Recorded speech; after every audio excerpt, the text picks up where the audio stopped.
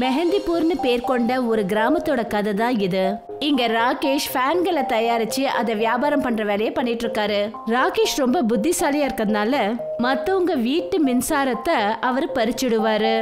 அப்பதான் எல்லாரும் அவரோட கடைக்கு வந்து புது புது ஃபேன்களை வாங்குவாங்கன்ற எண்ணம். ரொம்ப நாள் ஆயிடுச்சு. நம்ம இன்னும் யாரையும் ஏமாத்தவே இல்லை. என்ன சொல்றது? எல்லாரையும் ஏமாத்தி ஏமாத்தி என்னோட வீடு நிறைஞ்சு போச்சு. ஒரு பெரிய திருட்டு வேலை பண்ணணும். அதுக்கப்புறம் ரொம்ப நிம்மதியா சந்தோஷமான வாழ்க்கையை வாழணும். ராகேஷ் இந்த மாதிரி தான் எப்பவும் ஏதாவது பேசிக்கிட்டு இருப்பான் அடுத்தவங்க கிட்ட இருந்து பணத்தை பறிச்சு சாப்பிடுறது அவனோட பழக்கமா போயிடுச்சு. இதுக்கு அவனுக்கு துணையா இருக்கிறது பங்கஜ். அட என்னப்பா ரொம்ப நாளா நம்ம எந்த இடத்துலயும் கை வைக்காம இருக்கோமே.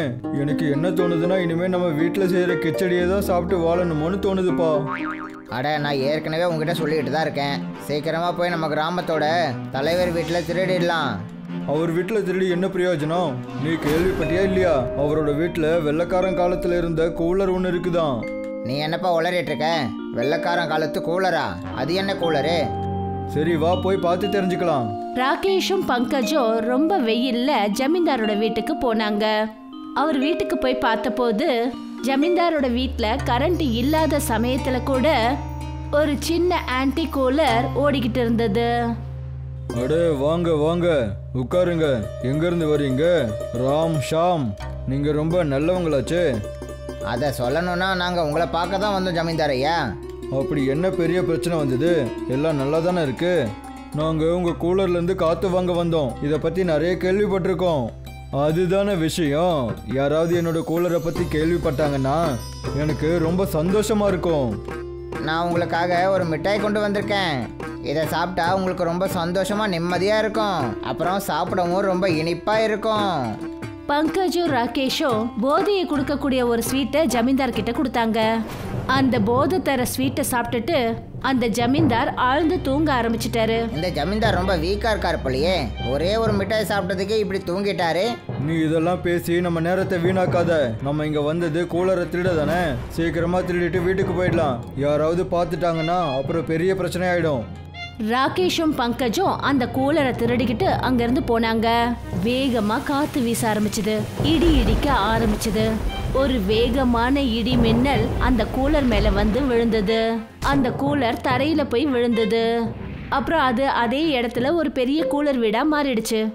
அட இங்கே என்ன நடக்குது? இந்த சின்ன கூலர் இவ்வளோ பெரிய வீடாக எப்படி மாறுச்சு? எனக்கு ரொம்ப பயமா இருக்குப்பா. இது ஏதாவது அபசகுணமா இருக்குமோ? நம்ம உயிருக்கு ஏதாவது ஆபத்து வந்துடுமோ? இதனால தான் அந்த ஜமீன்தார் கூலர் பக்கத்தில் யாரையும் விடுறதே இல்லை போல. நாம இந்த கூலர் வீட்டுக்குள்ளே போய் கண்டிப்பாக பார்த்தே ஆகணும். கண்டிப்பாக ஏதோ ஒரு விஷயம் இருக்கு. வா போய் பார்க்கலாம். அவங்க ரெண்டு பேரும் அது உள்ளர போன போது அப்பதான் அவங்களுக்கு புரிஞ்சது. அதாவது அந்த வீட்டுக்குள்ள இருக்கிற எல்லா பொருளும் ரொம்ப சில்லுன்னு பனிக்கட்டியால ஆனதுன்னு. உனக்கு புரிஞ்சுதா பங்கஜ்? இப்போ இந்த வீடு நமக்கு சொந்தம். நாம இந்த விஷயத்த பத்தி யாருக்கும் எதுவும் சொல்லக்கூடாது. இனிமே நம்ம ரொம்ப நிம்மதியா இந்த வீட்டிலேயே இருக்கலாம். இந்த சந்தோஷத்தை பத்தி நான் எப்படி சொல்றது? இவ்வளோ அழகான வீட்டை நான் என்னோட கனவுல கூட பார்த்தது கிடையாது. ஆனா இப்ப இது நிஜத்திலேயே நடந்துகிட்டு இருக்கு. ராகேஷும் பங்கஜும் அந்த கூலர் வீட்டுக்குள்ளேயே இருக்க ஆரம்பிச்சாங்க. இந்த விஷயம் கிராமத்துல யாருக்குமே தெரியாம இருந்தது. அடுத்த நாள் ஜமீன்தாருக்கு போதை தெளிஞ்சதும் எனக்கு என்ன ஆச்சு? நான் எங்க இருக்கேன்? என்னோட கூலர் எங்க? இது எல்லாமே கண்டிப்பா அந்த ரெண்டு பேரோட வேலையா தான் இருக்கும். இல்லைன்னா என்னோட இந்த கூலரை வேற யாராலையும் எடுக்கவே முடியாது. எனக்கு ஒன்றும் புரியலங்க. நீங்க என்ன சொல்ல வரீங்க? நேற்று ராத்திரி என்னை பார்க்க பங்கஜும் ராகேஷும் வந்திருந்தாங்க. அவங்க எனக்கு போதை மிட்டாயை கொடுத்துட்டாங்க. அப்புறம் என்னோட கூலரை எடுத்துக்கிட்டு போயிட்டாங்க. நான் அவங்களோட உயிரை காப்பாத்தி ஆகணும். இல்லைன்னா பெரிய தப்பாயிடும். எனக்கு இப்பவும் தலை சுத்திக்கிட்டே இருக்கு. ஜமீன்தார் தன்னோட வீட்ல இருந்து ரொம்ப வேகமா அவரோட கூலரை தேடி வெளியே வந்தாரு. அப்பதான் போற வழியில அவரு இங்கிலீஷ்கார சித்தப்பாவை பார்த்தாரு. நான் உன்கிட்ட சொல்லியிருந்தேன்ல அந்த கூலர் ஒரு சாபம். ஆனால் நீ நான் சொன்னதை கேட்கவே இல்லை. பார்த்தல இப்போ நீ எங்கேயோ ஓடி ஓடி வந்துட்டு இருக்க ஆனால் இந்த விஷயம் உங்களுக்கு எப்படி தெரிய வந்துச்சு? என் வீட்டில இருந்து அந்த கூலர் காணாமல் போயிடுச்சுன்னு? ஏன்னா இந்த விஷயம் நடந்தது. நீ சின்ன பையனா இருக்கும்போது உன்னோட தாத்தா இங்க இருந்த வெள்ளைக்காரங்க கிட்ட அடிமையா வேலை செஞ்சுட்டு இருந்தாரு ஆனா அதுக்கும் இந்த கூலருக்கும் என்ன சம்மந்தம் இருக்கு? அப்பதான் அந்த இங்கிலீஷ்கார சித்தப்பா உண்மை என்னங்கிறத சொன்னாரு. ஏன்னா உன்னோட தாத்தா எங்க ஃபேமிலிக்கு ஃப்ரெண்டு கிர்தாரி லால் கேள்விப்பட்டியா இன்னைக்கு வெள்ளைக்காரங்க? குளிர்ச்சியான காத்து தரக்கூடிய ஒரு மிஷினை கொண்டு வர போறாங்களாம் நானும் கேள்விப்பட்டேன் ஆனா நம்ம எப்படியாவது அந்த மிஷினை பார்க்க முடியுமா? சரி என் கூட வா. எனக்கு அந்த மிஷின் இப்ப எங்க இருக்குன்ற விஷயம் தெரியும். கிரிதாரி லாலும் இங்கிலீஷ்கார சித்தப்பாவும் அந்த கூலரை பார்க்கறதுக்காக இங்கிலீஷ்காரங்களோட ஒரு பெரிய குடோனுக்குள்ள போனாங்க. அங்க போய் அவங்க பார்த்தபோது ஒரு மாயாவி தாந்திரீகம் பண்ற பொம்பளை அந்த கூலரை ஒரு வட்டத்துக்குள்ள வச்சு மாய மந்திரங்களை பண்ணிக்கிட்டு இருந்தா. இனிமே யாரெல்லாம் இந்த கூலர்ல காத்து வாங்குறாங்களோ அவன் இந்த கூலரோட சேர்ந்துடுவான். இந்த கூலர் அவங்கள தன்னோட வசப்படுத்திக்கும். அவங்கள இது அழிச்சிடும். எந்த அளவுக்கு இந்த கூலருக்கு பலம் கிடைக்குதோ அந்த அளவுக்கு எனக்கு பலம் அதிகமாயிக்கிட்டே இருக்கும். அந்த தாந்திரிக பொம்பளை சொன்னதை கேட்டுட்டு இங்கிலீஷ்கார சித்தப்பா கிரிதாரிலால் ரெண்டு பேரும் பயந்துட்டாங்க. ஆனா இங்கிலீஷ்கார சித்தப்பா தான் கத்து வச்சிருந்த மந்திரத்தோட பலத்தால மாந்திரிகங்கள் பண்ற அந்த சூனியக்காரிய பார்க்க உள்ள போயிட்டாங்க. நான் உன்னை இந்த யாகத்தை பண்ண விடவே மாட்டேன். உனக்கு மட்டும் இந்த மந்திர சக்தி கிடைச்சதுன்னா அப்புறம் நீ இந்த ஜனங்களை அழிக்க ஆரம்பிச்சிடுவ. உங்க ரெண்டு பேருக்கும் என்ன தைரியம் இருக்கும் நீங்க என்ன தடுக்க வந்திருக்கிறீங்க? ஆனா அதுக்கு முன்னாடி உங்க ரெண்டு பேரையும் நான் இந்த கூலருக்குள்ள கைது செஞ்சு வைக்க போறேன்.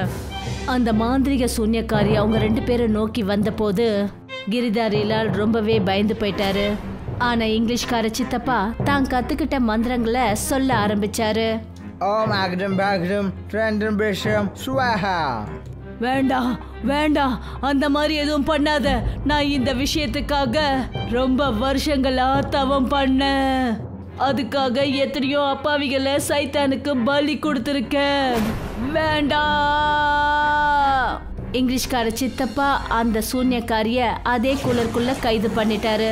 அன்னையிலிருந்து இன்னைக்கு வரைக்கும் இந்த கூலர் உன்னோட வீட்டில் தான் இருக்கு. உன்னை தவிர நானும் அந்த கூலரை எப்பவும் கவனிச்சுக்கிட்டே தான் இருக்கேன். ஒருவேளை அந்த கூலர் மட்டும் கெட்டவங்க கையில் கிடைச்சதுன்னா நம்ம நிறைய விஷயங்களை இழக்க வேண்டிய நிலைமை வரும். சித்தப்பா ஒருவேளை அந்த கூலர் காட்டுக்குள்ள இருக்குமோ? நான் இந்த இடத்துல முழுசா தேடி பார்த்துட்டேன். ஆனா எனக்கு அது எங்கேயுமே கிடைக்கல. ஜமீன்தார் அவரை கூட்டிக்கிட்டு காட்டுக்குள்ள போனாரு. அப்புறம் அங்க போய் பார்த்தபோது அந்த காட்டுக்கு நடு மத்தியில ஒரு கூலர் வீடு இருந்தது. அதை பார்த்துட்டு ரெண்டு பேரும் அதிர்ச்சி ஆயிட்டாங்க. கண்டிப்பா இது அதே கூலர் தான். ஜனங்களை ஏமாத்தி அவங்கள கைது பண்ணி வச்சிருக்கு. அந்த சூனியக்காரியோட சக்தி இப்பவும் அதிகமா தான் இருக்கு. இதுக்கு ஏதாவது தீர்வு இருக்கா? இல்லனா அவங்க அப்படியே கைதாகி தான் இருப்பாங்களா? அந்த கூலர் மேல நம்ம பவித்திரமான கங்கை நீரை தெளிக்கணும். அப்பதான் இதோட மொத்த சக்தியும் அழியும். ஜமீன்தார் ஐயா தன்னோட வீட்டுக்கு போய் கங்கா ஜலத்தை எடுத்துக்கிட்டு வந்தாரு. அப்புறம் இன்னொரு பக்கம் பங்கஜும் ராகேஷும் அவங்க ரெண்டு பேரும் அந்த கூலர் வீட்டுக்குள்ள கைதிகளா இருந்தாங்க. திடீர்னு ரெண்டு பேரும் அவங்க சூட்டை உணர ஆரம்பிச்சாங்க. என்னால் வெளியும் போக முடியல. நமக்கு அப்படி என்னதான் நடந்துக்கிட்டு இருக்கு? கடவுளே! எனக்கு ரொம்பவே சூடா இருக்கு. இந்த சூடை என்னால தாங்கவே முடியல. அவங்க ரெண்டு பேரும் அந்த கூலருக்குள்ள மாட்டிக்கிட்டாங்க. ஆனா அவங்க அங்க கத்துற சத்தத்தை கேட்டு ஜமீன்தாரும் இங்கிலீஷ்கார சித்தப்பாவும் வந்துட்டாங்க. நீ இதுக்கு மேல சீக்கிரமா கங்கை நீரை தெளிச்சிடு. இல்லைன்னா அவங்களுக்கு இன்னும் நிறைய கஷ்டங்கள் வரும். சரி நீங்க எது மாதிரி சொன்னீங்களோ அப்படியே நான் செய்றேன். இங்கிலீஷ்கார சித்தப்பா சொன்னதை கேட்டு ஜமீன்தார் ஐயா அந்த கூலர் மேல கங்கா ஜலத்தை தெளிச்சாரு. அதனால அந்த கூலர் வீடு சில்லுன்னு ஆயிடுச்சு. அப்புறம் அந்த சூன்யக்காரி தாந்திரிக பொம்பளையோட ஆத்மா அந்த கூலர் வீட்டுக்குள்ள இருந்து வெளியே வந்தது. நீ செஞ்சது கொஞ்சம் கூட சரியில்லை.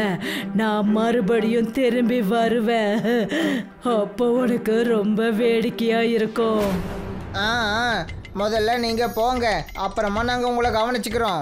இப்படி சொல்லிட்டு அந்த தாந்திரிக சூன்யக்காரி அங்கிருந்து மறைஞ்சிட்டா. அந்த கூலர் வீடு மறுபடியும் சில்லுன்னு ரொம்ப அற்புதமா மாறிடுச்சு. ஜமீன்தார் தன்னோட அந்த கூலர் வீட்டை அந்த கிராமத்து ஜனங்களுக்காக காட்டிலேயே இருக்கட்டும்னு சொல்லிட்டாரு. ராகேஷும் பங்கஜும் கூட தன்னோட திருட்டு வேலைகளை விட்டுட்டாங்க. அவங்கவுங்க கடையில கடினமா உழைச்சி வேலை பார்க்க ஆரம்பிச்சிட்டாங்க.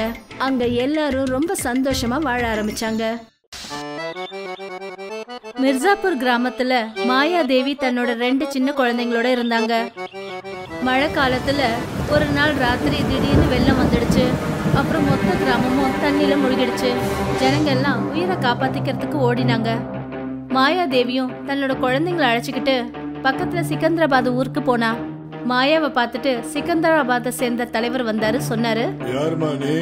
எதுக்குமா இந்த கிராமத்துக்கு வந்திருக்க? நாட்டாமையா உங்களுக்கே நல்லா தெரியும்.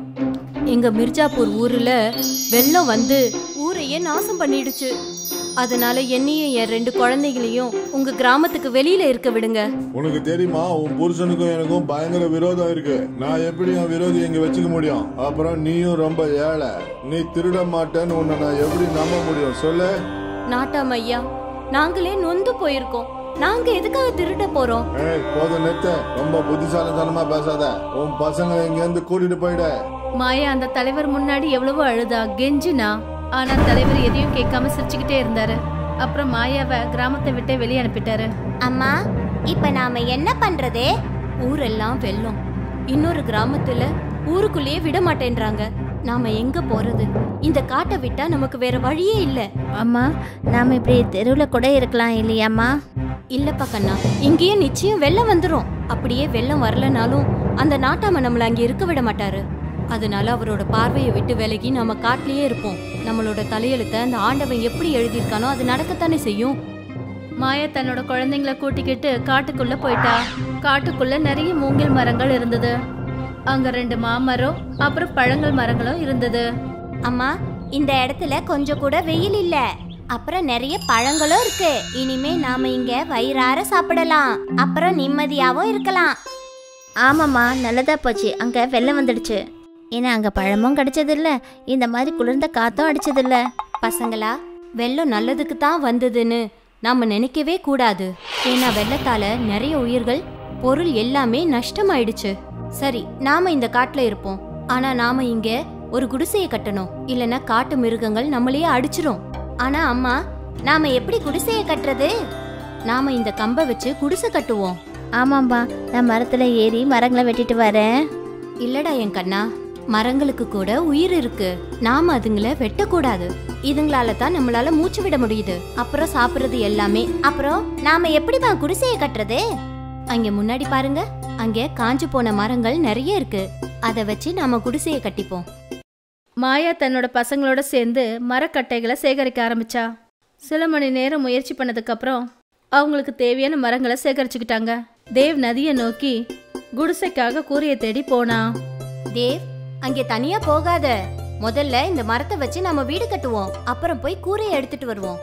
தேவ் அம்மா கூப்பிட்டதை கேட்கவே இல்லை. கூரைக்காக தேடி போனான் அப்பதான் தேவ் சத்தம் போட்டான். ஏன்னா அவனை பாம்பு கடிச்சிருச்சு. அம்மா என்னாச்சு தேவ்? அம்மா என்ன பாம்பு கடிச்சிருச்சுமா? அதை கேட்டதும் மாயாவும் மோனியும் ரெண்டு பேரும் அழுதுகிட்டே தேவ நோக்கி ஓடினாங்க. தேவ் மயங்கி விழுந்துட்டான். ஆ, தேவ் தேவ் தேவ் கண்ணா கண்ணா. அட கடவுளே நான் உனக்கு என்ன பாவம் செஞ்சேன் முதல்ல என் புருஷனை பறிச்ச. அப்புறம் வீடு. என் பையனையும் பறிச்சிட்டியே. கடவுளே என் குழந்தைய எனக்கு திருப்பி கொடுத்துரு. அப்பதான் அவங்களுக்கு ஒரு குரல் கேட்டுச்சு. மாயா நான் மாய மூங்கில் காடை சேர்ந்தவன். நீ சொன்னது எல்லாத்தையும் நான் கேட்டேன். நீ உன் பசங்க கிட்ட மரங்களோட முக்கியத்துவத்தை புரிய வச்ச. அதை கேட்டுட்டு எனக்கு ரொம்ப சந்தோஷமா இருந்தது.